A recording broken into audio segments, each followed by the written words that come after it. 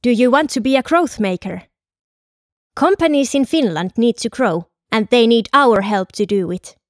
My name is Sara, and I am a growth maker. To the outside world, I am an ordinary student. But together with my friends at Y-kampus, we are learning how to help Finnish companies grow and understand what it means to be global.